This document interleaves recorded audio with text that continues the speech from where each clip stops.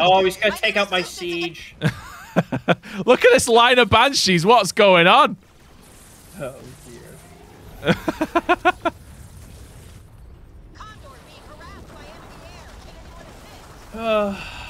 Oh, it's all gone. All units. Just absolutely pooed Look, on. he's, uh, he's sending in all of his drops. The snipers are gonna have a field day.